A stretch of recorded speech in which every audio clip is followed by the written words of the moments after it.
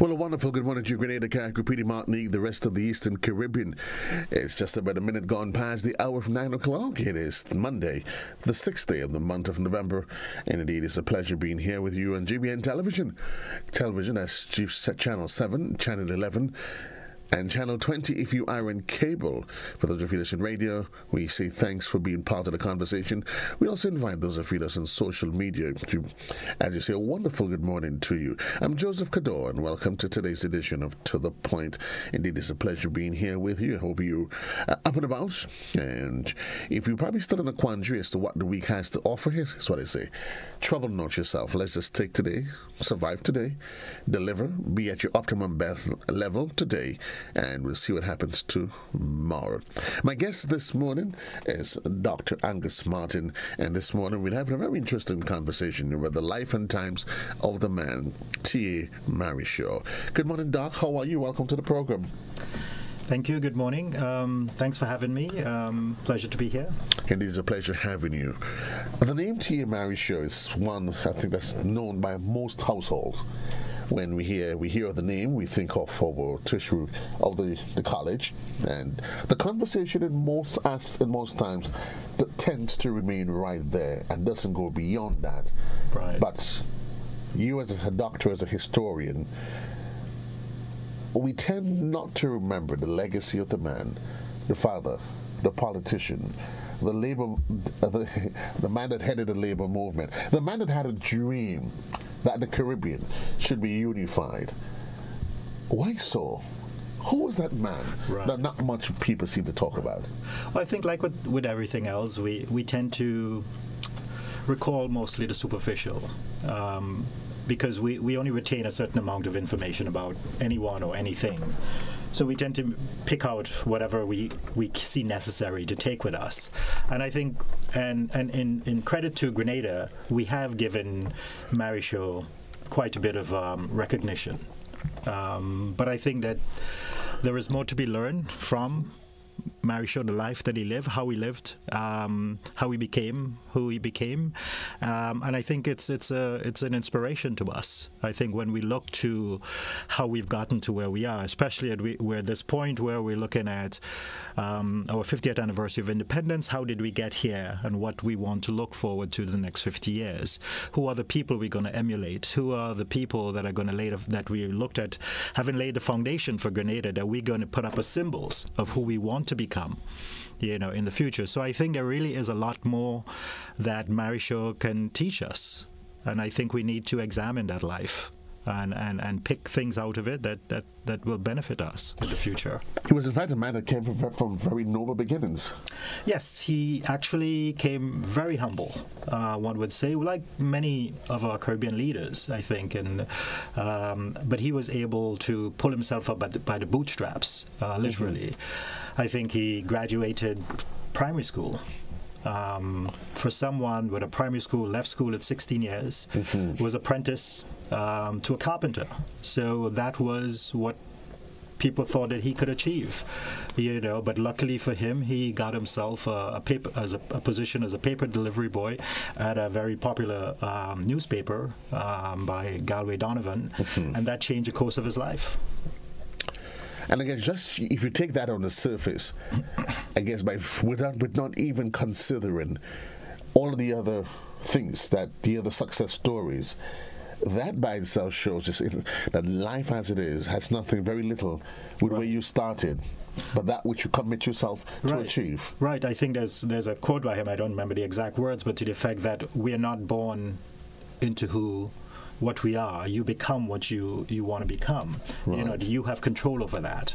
Um, and we've seen that over and over, you know, in our history and across the globe, that you can change the world, but you have to want whatever it is and go about it in such a way that you will achieve. You know, and I think it's, and that's why people like him inspire us because of what they've been able to achieve, despite their upbringing, or one might say because of their upbringing. Right. You know, not despite of it, because that gives him the drive, you know, to want to become something more than what society may have deemed was enough for him. I mean, some folks that listen to the conversation and they're saying, they're hearing us talk, about- talking about the things that he has achieved. And they're probably wondering, what are they talking about?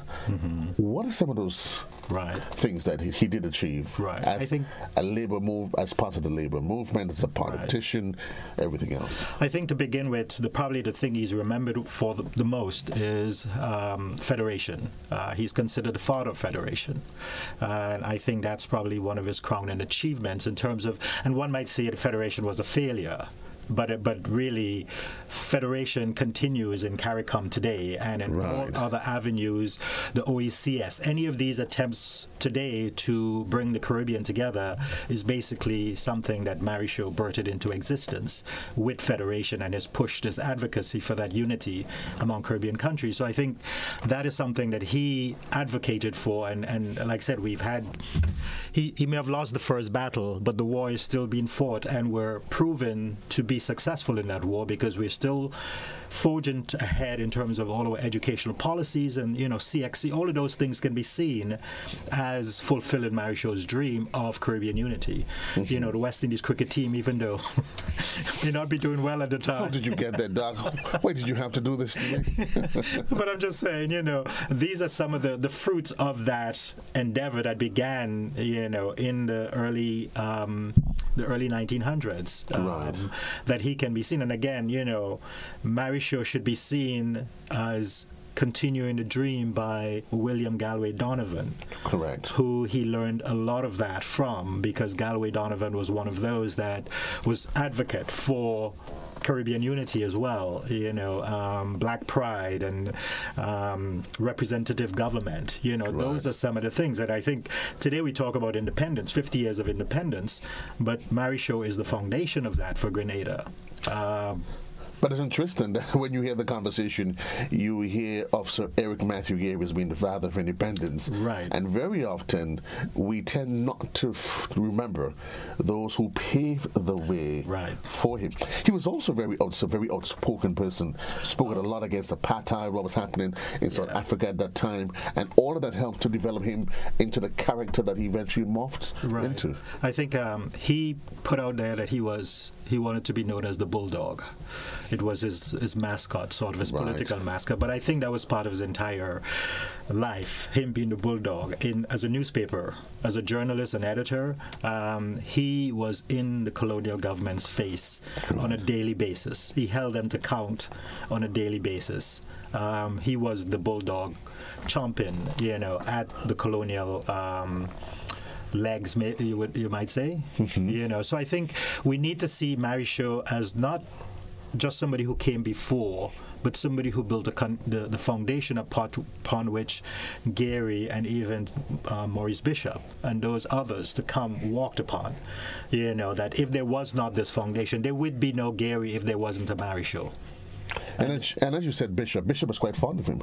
Yes, uh, actually, Marryshow probably got more recognition during the PRG. He had there was a Marryshow Day, um, and Bishop actually have a quote here um, by Maurice Bishop who said, you know, um, Marryshow showed honesty, courage, and determination, intelligence, and spirited and fundamental um, commitment to struggle. You know, he really embodied for the revolution. I think probably his socialist um, advocacy probably endeared him to the to the PRG. But I think the PRG, in looking through Grenada's history for individuals who they could um, emulate, which Bishop felt that the qualities of Marryshow's life was definitely something that Grenadians could emulate, and that's why he was put forward. I think I like to say that every government since independence have unofficially, officially recognized Marryshow as a national hero, even though there was never any legislation or anything. So he Right. probably is our first recognizable national hero that everybody seemed to agree on, um, which is it's it's not easy in, in Grenadian politics. And even while he did consider himself to be the bulldog, I think is it possible that that sort of reference is what may have probably forced some people, maybe not because that, the bulldog as, as an animal has this natural aggressive, overly aggressive. right. Some may argue misunderstood. Right. And he was, in fact, a dog. He was, in fact, an animal an, lover. an yes. animal lover. Yes, he was an advocate for animals. You know, I don't. Um, I'm not even quite sure he had a bulldog. I know he had a ceramic bulldog that he said he carried around. um, but I think, I think when you look at somebody as man, even though he wanted to be projected to be seen as a bulldog, he was very gentle.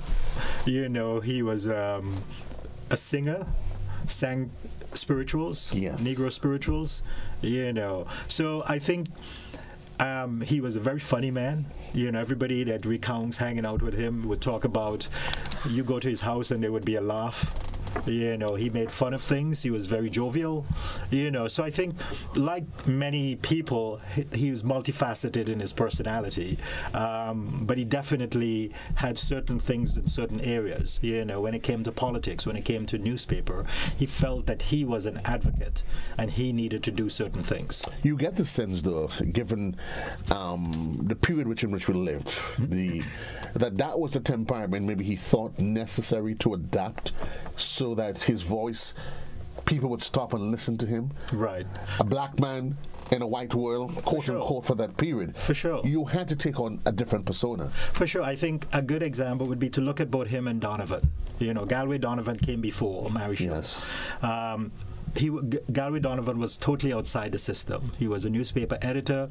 He was even thrown in jail for mm-hmm. sedition against some of the things that he wrote against the, the, the colonial government. Right. He was outside of the system. He was an advocate. Marryshow was within the system. Marryshow believed that working within the system. Marryshow accomplished a great deal. I don't think that anybody could question, you know, what he accomplished from within the system. And he pushed against the system from within the system. He changed the system from within the system. Mm-hmm. And some might question his anti-colonial um, credentials, but I think they would be incorrect in assuming that. And I guess it's that very sort of what made him, because he was actually invited to the Queen's coronation in 58. Oh, yeah, yeah. He was a legislature. He was within the system. He was given a, a command of the British Empire. Um, he saw himself as a citizen of the British Empire. What's the lessons to be learned from that, though? That very often we assume that change, and we've seen over the years there have been world leaders who take mm-hmm. who've taken a different approach to breaking the status quo and pushing against the tide. Right. He was one of those. I think you have to recognize what your strengths are. We tend to think that there's a one one size fits all.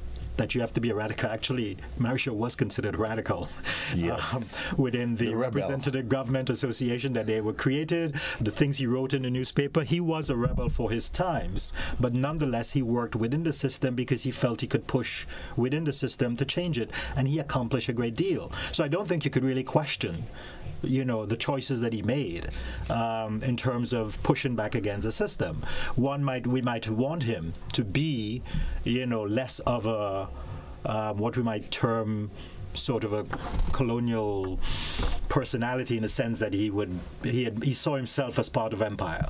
Right. Um, even though, like I said, is is West In- the West Indies must be West Indian. That was a plea for not that the West Indian beca- the West Indies become only West Indian in that sense, but that it's governed by. And that is something that he pushed that government officials, even within the colonial system, should be Caribbean people. Grenadians specifically, but he would go for he was okay with Caribbean people because he felt that that connection between the different islands, um, and as long as somebody grew up in the Caribbean um, and and had that connection to the to the to the people, that they were the ones who should be um, pushing to, to, to change the Caribbean and, and, and, and advocating for people.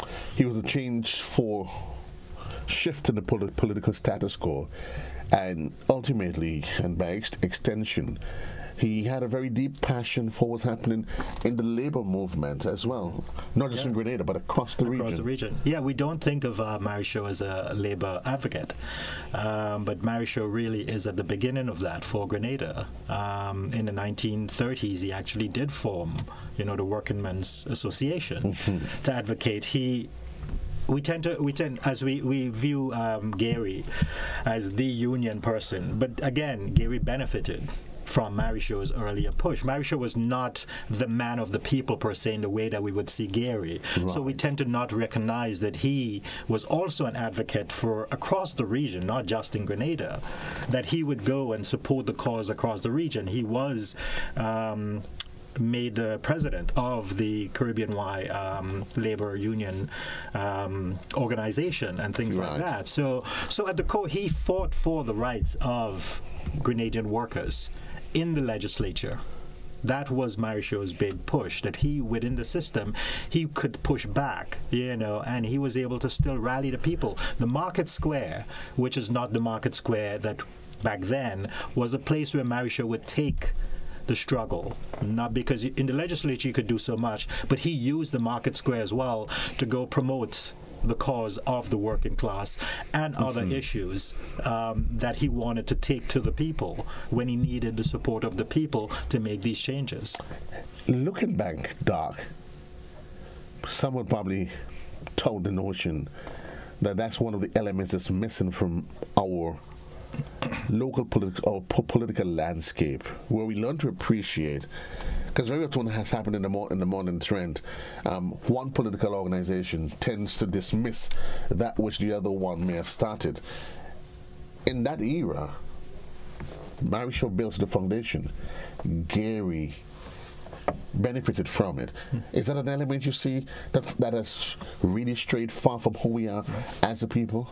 I think sometimes we can be a little short-sighted, um, and and that is because we sometimes don't know a lot of our history. And if you don't teach our history in schools, you know, I remember having a class at SGU, uh, Intro to Caribbean Studies, and I uh-huh. talking to these students, and I was like, "How could you not know this?" And they're like, "Nobody taught us." You know, it's like, don't blame us. We did not learn anything about this. Um, and I think there lies the problem. And, and that's why I like the current push for teaching Grenadian history in schools. If we taught Grenadian history, we would be able to recognize that we are on a part of evolution. It may not always be a better evolution sometimes. We hope it is. Um, but that we constantly build in pieces of this foundation to take us higher, to become a better nation, to become better Grenadians, whatever that that we define that to be.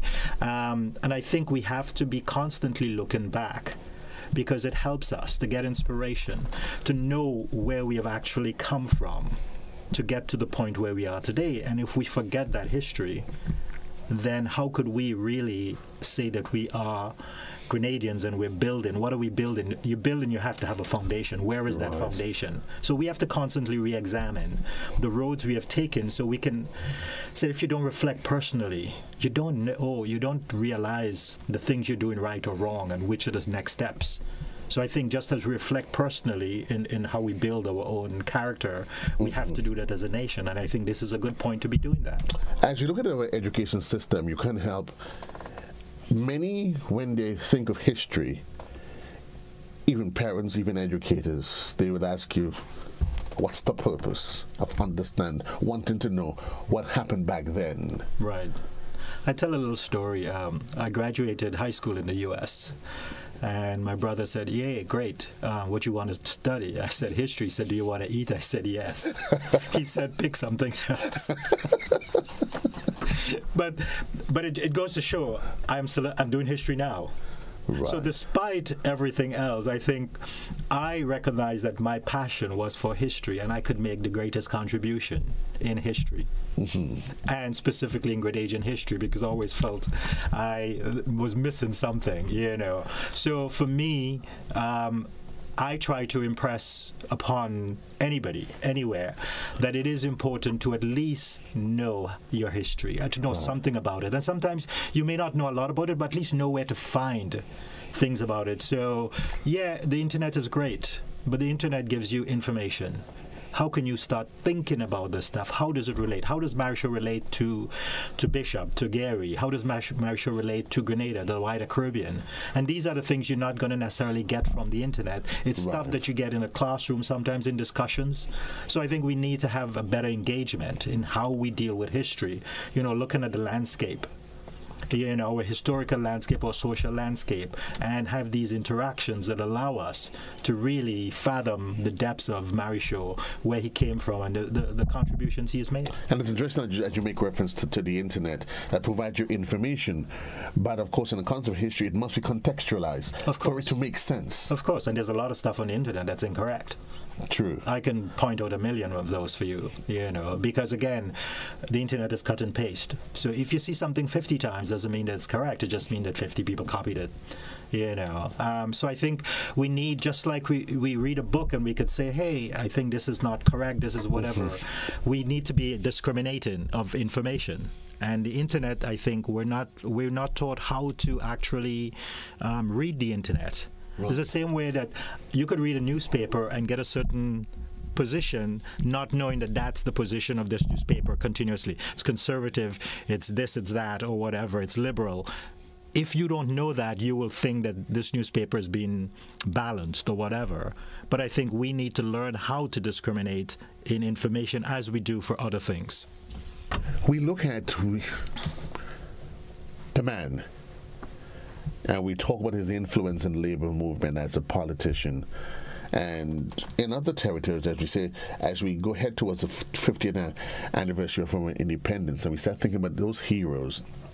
In trinidad you would have there is buzz butler who is in fact a Grenadian, and, and you, you say that about uh, really yeah, and he's lauded in in, in, Yeah. in Trinidad Yeah. for the starting the The labor movement. starting the labor yeah, movement for sure. There is Garvey, there's Cipriani, all these other Caribbean leaders, and they were contemporaries of their time. Mm-hmm. Yeah. But in each of these territories, they are glorified. Yes. However, We we're not there. why Um, not? That's interesting. I think we've made attempts to do that. I think we have, like, I, one of the things I, I really regret is that we named Tyrrell Street Blaize Street when that should have been Marryshow's Street. Hmm. It's going to be hard to change that at this point. but I think we're not thinking. You know, we didn't look at the larger picture Right. and realize that if we're going to name streets after people, let's look at the appropriateness of it. And you know, it's the reason is because Blaize used to live in a house there when he came from Carriacou. Right. Um, that was the only reason. You know, but but again, that is just something that we're not doing what we need to do. We're not actually sitting down and think about how it is that we create our landscape Right. you know, how do we deal with monuments? For example, we're still looking at the idea of national heroes, officially recognizing national heroes.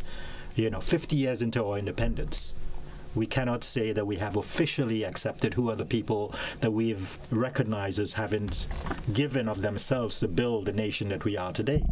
So I think I think we need to really take a deep look at how we imagine you know our society and where we want what we want our children to recognize you know of our past and to take forward and I think that's the stuff that we really need to concentrate on if we're going to to lay the foundations that we could say we've made these steps and we can build from here.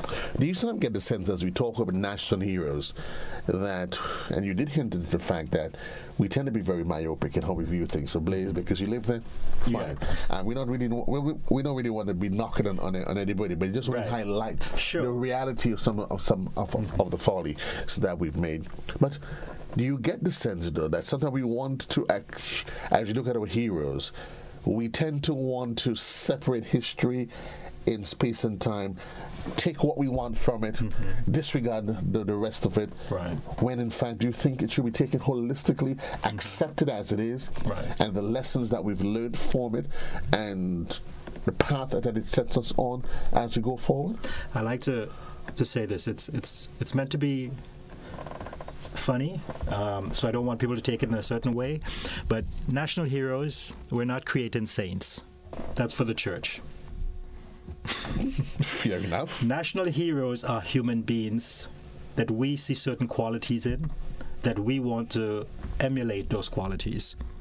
Not everything about that individual. Marryshow was criticized for not having married, for having many children outside of wedlock. 17. Yeah, it's a bit, yeah. So, you know, but I don't think we need to see people as human beings, as individuals, as ourselves, the, the mistakes that we make and choices and things like that. We need to though we can see them as a whole person, we also need to say these are the qualities that we like about them. The other ones, that's the human side. Let's just move on. You know, we don't have to dwell on it and recognizing that they are they did greater things. And those are the things that we emulate them for and we recognize them for. That we can separate those and say that stuff is really great. This other stuff, it's okay. You know, but we really need to this stuff is good stuff to build upon. That takes us a really, really, really strong sense of maturity. Yeah. Because it is human beings who's now we tend to be very judgmental instead of being objective. Mm-hmm. So a guy may have fallen short. We do not ask ourselves, well, I wonder what were the mitigating circumstances. All we need remember, he was guilty. that, and that's all we care about. He was guilty. Instead of thinking, wow, the guy got sent to jail for stealing mangoes to feed his children. Right. History doesn't remember those those particulars, those details. Those details. All that you remember is that he went to jail. Yeah. No, I think we we need to take a look. We need to be compassionate when we look at any human. We need to see them within their time as well. You know, I think that's something that we tend to not do. We tend to take people out of these contexts in which they right. they were born and which they grew. So when you do that, you're already doing them a disservice because you you you you taking them out of what molded them, what created them, you know, good and bad. And, you know, and it's, it's not, like I said, these individuals are people that we see good in, and in in all of us, there is some good, there's some bad things. We all make mistakes and, and stuff along the way, right. but we want to to take these as examples, you know, political examples, literally exa- literary examples, that kind of thing, and say here is a good example for us to follow in, in this aspect of his life. Of course, it was Buju Banton and one of his favorite songs that reminded us that circumstances, in fact, yes, yes. makes us what we are. Oh, for sure. We are molded by the environment in which we live. You know, it doesn't mean that we can't remove ourselves from it, from certain aspects of it, but we it's and, and that's what history does. We said we we are part of history even as we make it, because and and the history was um, there's a meme I think about um, we um, it's really bad that I forgot it. But the the, the thing is that you're human. I don't I don't remember everything. Um, but that the fact that we we we constantly at the mercy of our history if we don't know it. But if we do know it, we can transcend it. We can use it and I see that for, for many things. And you know, knowing our culture allows us to be creative and take it to another level. We look at Trinidad Carnival. You know, they've totally taken folklore and everything and totally transformed it. We need to do the same with our history and culture. We need to do the same with our history and our culture, so says Dr. Martin. We'll take a quick commercial break when we come back. We open up the lines and we engage you right here on To the Point for today, the sixth day of the month of November.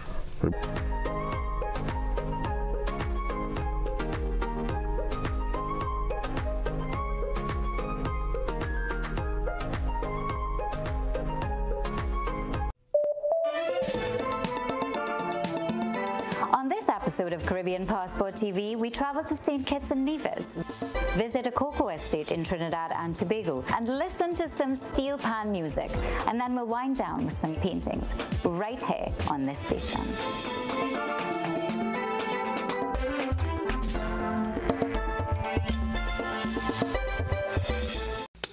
I want to control your anger.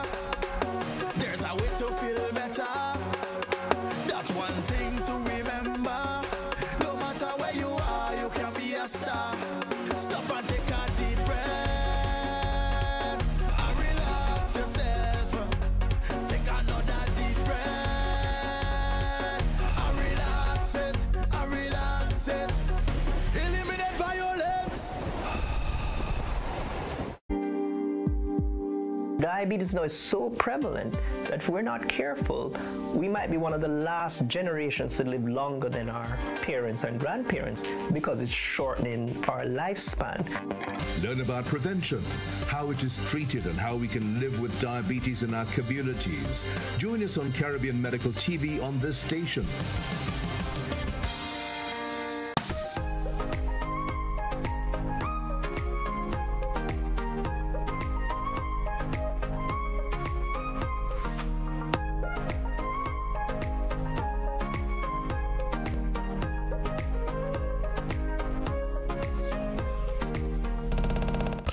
Welcome back to the program. 29 minutes on to the hour. My guest this morning, Dr. Angus Martin, and we looked at the life and times of Theophilus Albert Marryshow. We've there's so much that we can say, but as you look at the legacy of the man, that he is has gone, and yet while we still he isn't appreciated in in the sphere in the volume that you probably wonder you probably probably should. We still have the T.M. Marryshow Community College as part of that legacy. His former home, Right. the open campus for the university. Um, do you think if he's where, where, where he is and he's looking down, he probably would be thinking, I started it and the journey continues? Right. I think um, there was a a little piece that was done by C.L.R. James um, upon when Marryshow died, and he, had just seen him earlier on. He had seen him within a month or two of his passing, and he commented. He said um, in a conversation they had, um, T.M. Marryshow talked about two things that he wanted to see live on: his house, become a center. Um, and, and that has been accomplished. And the other thing he was concerned about was his collection of writings, his papers. We're going to get to that, but before we do, we're going to go to the telephone line. Good morning, caller. You're live. Good morning, Joseph, and morning, Dr. Martin. I'm very elated that we are having a conversation on the lead late TMI show today. Uh, tomorrow is his I think the 7th.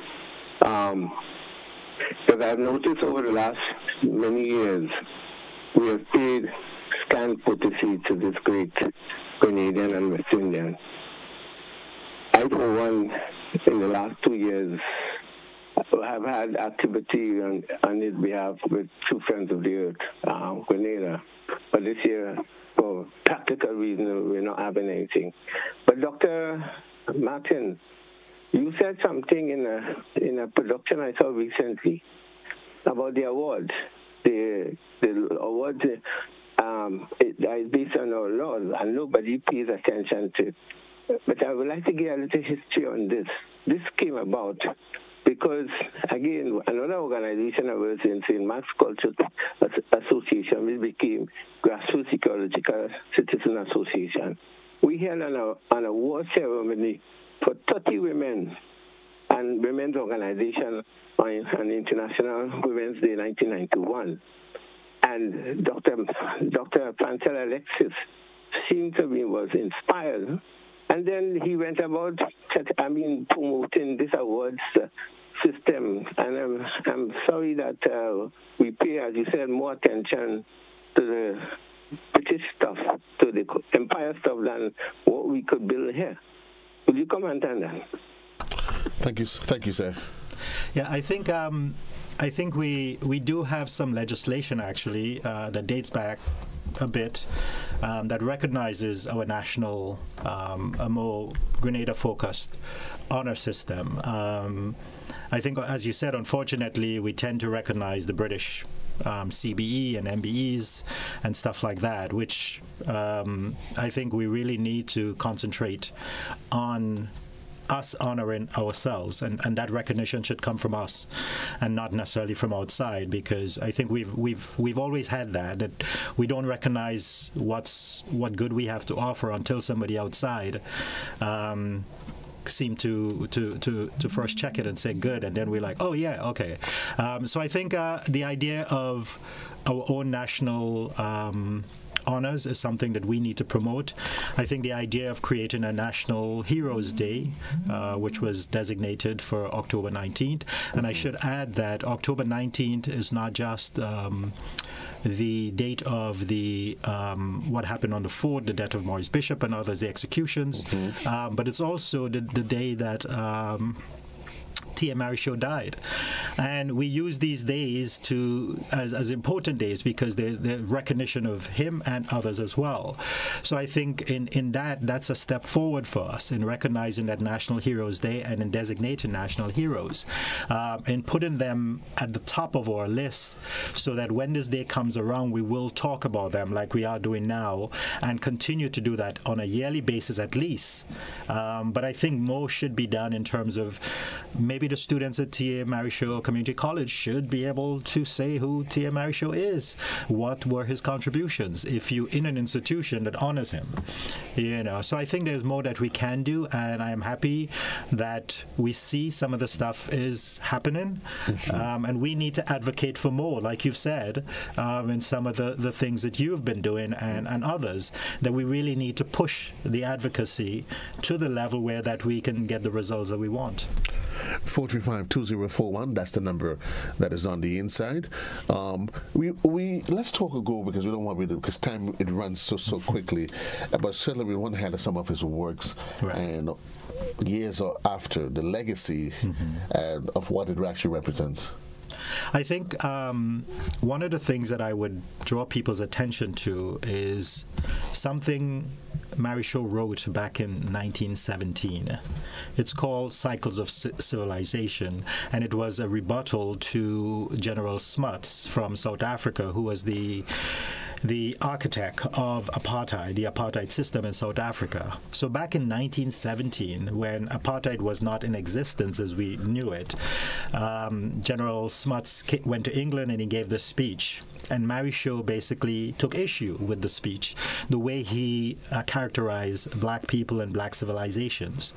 And one might say that Marryshow was able to see where Smuts was going with his racist um, characterization of, of black people, and it actually it's it's something that he did in a newspaper. It's a it's a five part series that he put produced. It eventually became a book, but few people know about it, um, in the sense that recognizing his literary um, abilities, you know, his his his knowledge of the world when you look at what Marryshow was able, what he wrote about, looking at civilizations across the globe and putting African civilizations within the context, um, that I think that it should be reading for everybody that goes to school at TAMCC, that we should have printed copies. And it was re- reissued a number of years ago, and it is available on Amazon, but few people are aware of it. But when you look at the fact that Marryshow graduated primary school, um, at 16 years and at 34 years, almost um, doubling his, his his time, that he was able to put this together with knowledge that he gained from reading. That is something we should uh, put up there to admire and, and to promote reading and libraries. I know prior to when we were having this, this pre discussion this morning, we, we spoke of that and we juxtaposition it to our current education system Mm-hmm. where the focus, and I agree wholeheartedly, that the focus should be on us achieving the ultimate. Mm-hmm. But when you look at some of these great leaders, even men that have become success stories, it can it helps to beg the question whether or not somewhere along the way our education system we've missed it, a lot of things along the way that the focus should not just be on academia Right. but on that holistic development that allows us to appreciate who we are Right. and our purpose of being here No, I think you look at Marryshow and you look and said, that's a Renaissance man. right he educated himself across the board. And that's as a newspaper person, but I think in his whole personal life, he read profusely. That is how he gained his knowledge. And I think that is an example we need to put out there and say, here is somebody with only a primary school education. And look at what he did with, with his life. And look at the things that he wrote about, the things he talked about. He could have gone and this had discussions with anyone.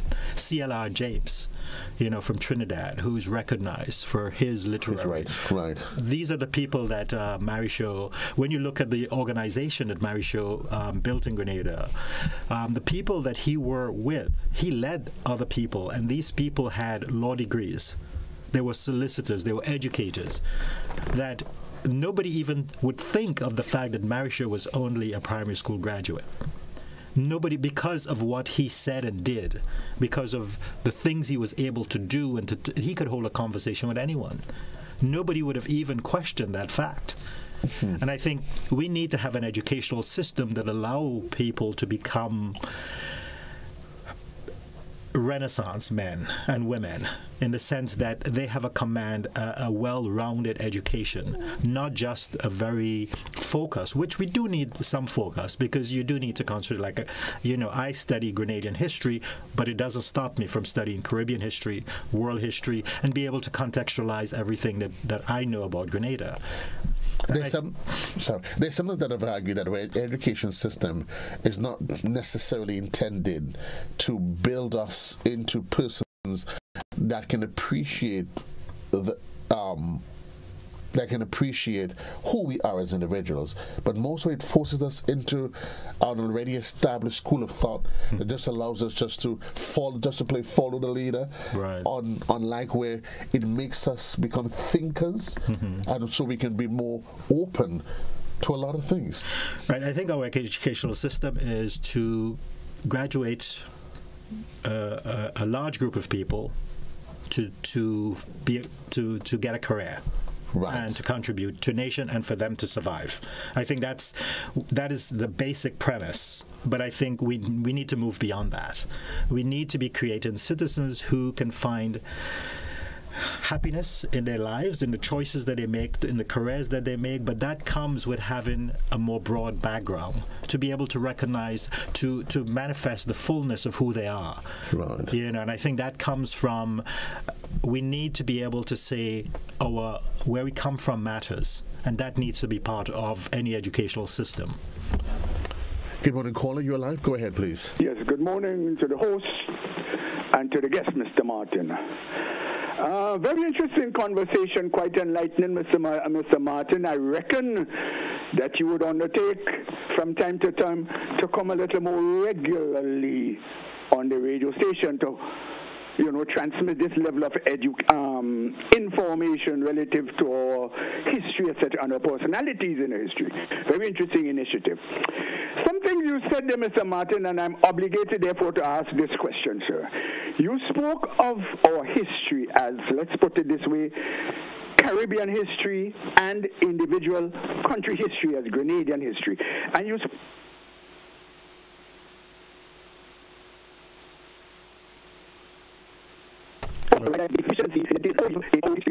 attention there. But Mr. Martin, this is my question particularly. Don't you think, or would you share my view, sir, that the failure has been that our people have, have allowed the quote unquote politicians, stroke demagogues, who position themselves as leaders over the years, to call the shots the coalition to make the decisions, re our education system, and not the academics and the people who know about it. Do you think, therefore, sir, that it is its duty of the academics of the country, people who have studied the various things and so on, to pay greater attention to their responsibility in emitting or emanating or divulging or propagating, whatever you wish to call it, this level of historical information to our people instead of allowing it to be in the hands of the politician. I trust my question is understood, sir. And for finally, sir, Mr. Martin, would you have a would you like would you have a a landline that I'd like to communicate with you on other matters. Do you have a, would you like to divulge a, a landline to me, sir? Thank you very much. Thank you very much, caller. Doc? Um, okay, to address your question, um, I think we, the, the, the role of the politician uh, in government is to create policies but of course, no policy is made in a vacuum. Uh, policies involve the academics, they involve parents. I think we normally leave parents out of a lot of this. Um, and just ordinary citizens as well who have different um, advocacy that they want to put forward. I think we cannot leave any policy to just politicians or to any one group of people because we are going to get a one sided uh, outcome. I think in in looking at education specifically and the way our educational system is set up, uh, one of the problems I see is that we have a Caribbean focus education, which I don't have a problem with specifically, but we also need to figure out how best to incorporate local um, Grenadian history. Because, yes, it's good to learn about the, the Maroons, Nanny, and, and Kojo in Jamaica But most people don't know that we actually had lots of Maroons in Grenada you know, Petitjean and, and folks like that. So I think we also need to figure out ways to to to push for our own to have that represented. But and again, that's where the academics come in. The people who are studying history in Grenada specifically need to start pushing and say we need to see more. I think uh, Dr. Uh, Philip Dow um, was one of the ones that pushed for revolution to be part of the the CXC um, curriculum. You know, so I think I think we need to put push other things forward. Um, you know, Fédon's rebellion. We need to look at Marryshow, you know, as um, one of the ones that that would be with Cipriani and the others, other Caribbean leaders at the time. I think because he did not achieve prime minister status, we tend to think that he might be lesser. When I think that is a mistake, you know, in the way we would see it. So I, I think we definitely need to have more input.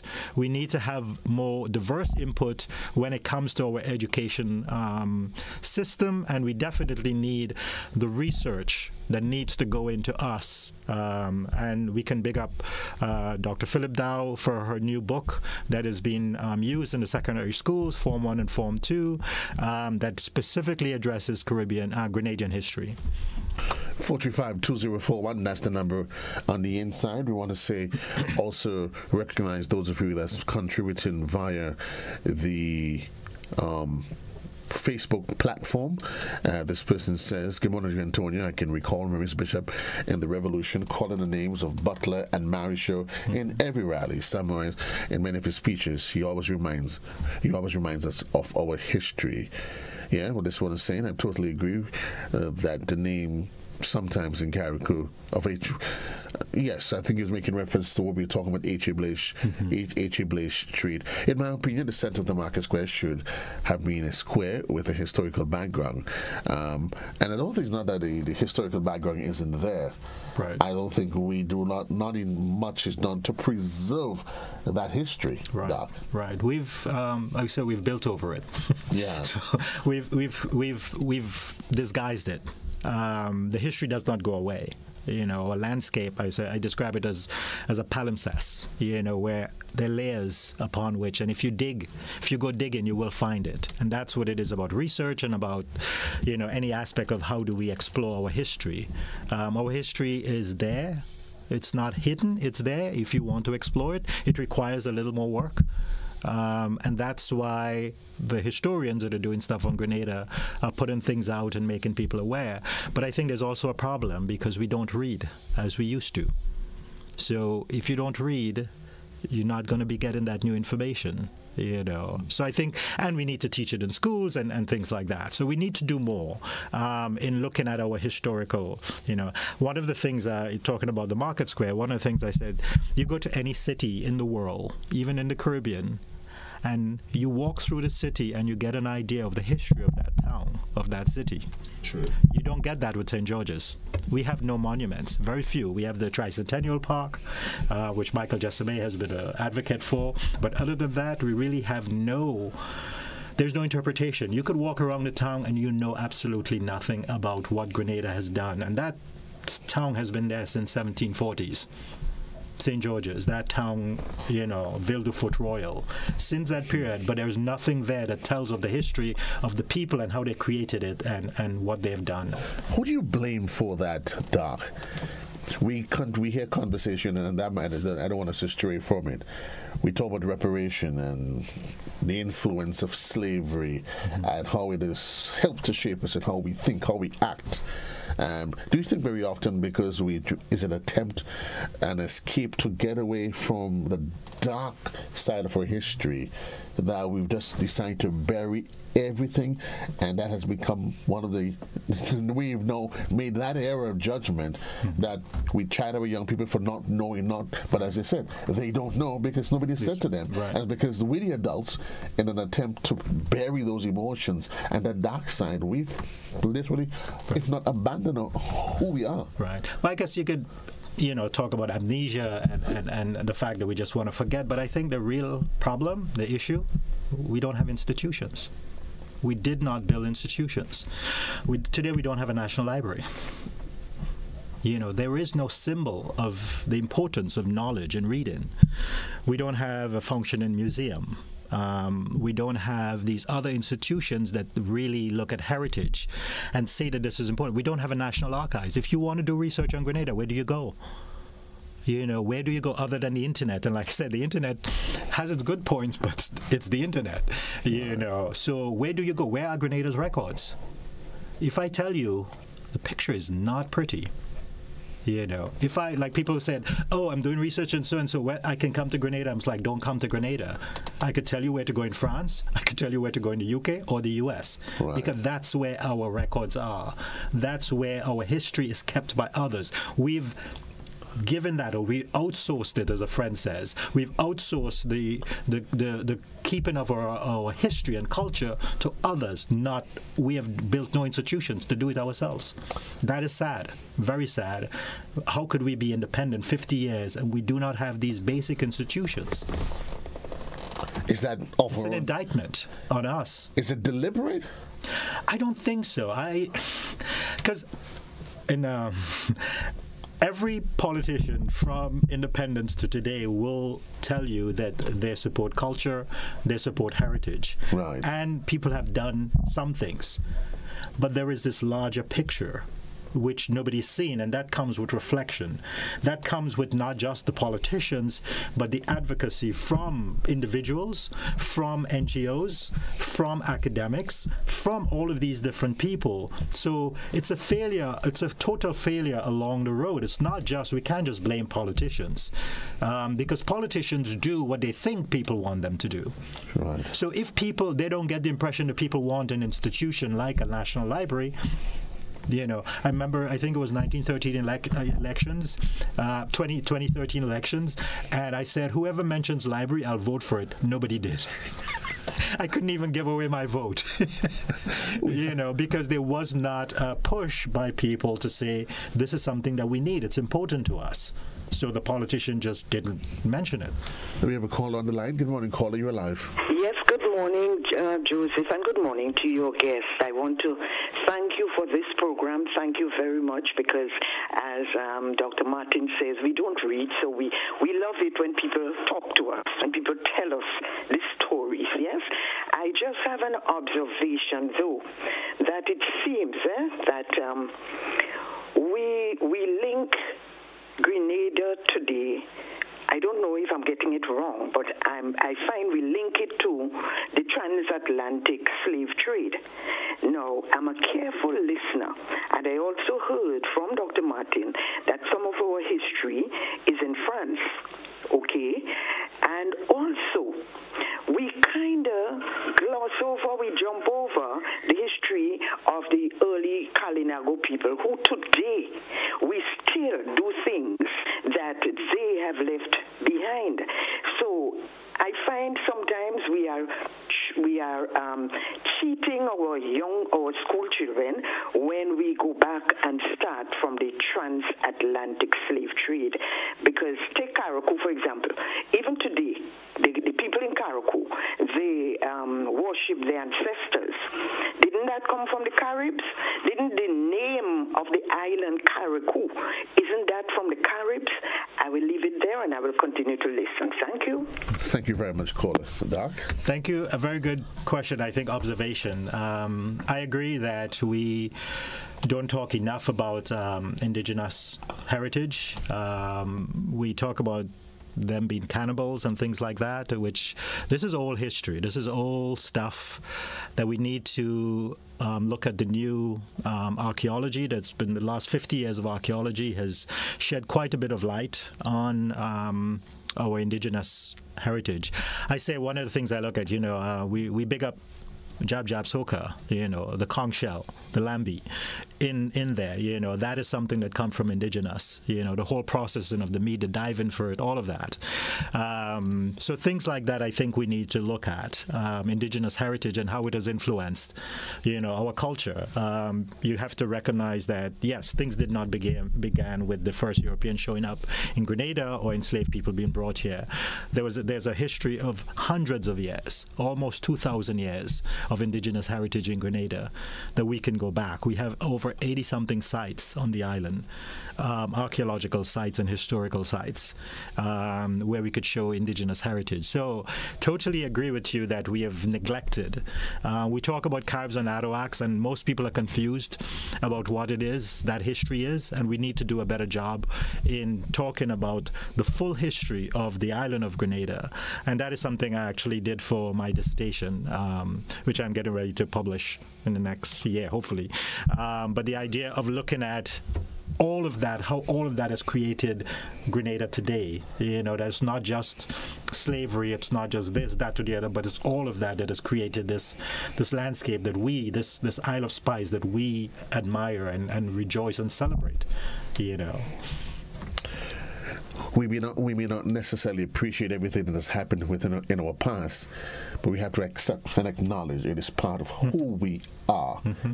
Yeah, and really and truly, and you would agree that very often we have to be able to appreciate our past so that we can learn from it, so that we can avoid some of the mm-hmm. mistakes that that has that has been made back there and then.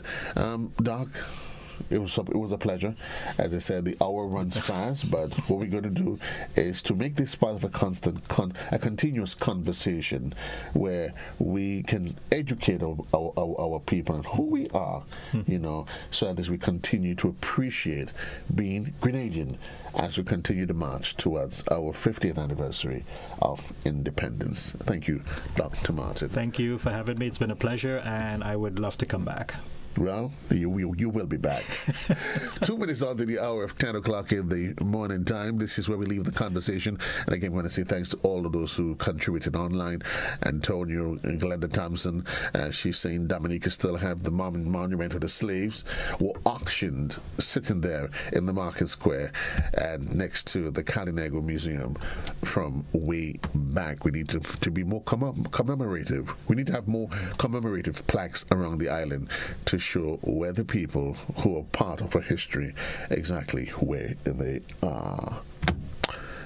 But all good things must come to an end. We had to leave the conversation here for now. Until another place and time, JC loves you. Have yourself a really great one. Until.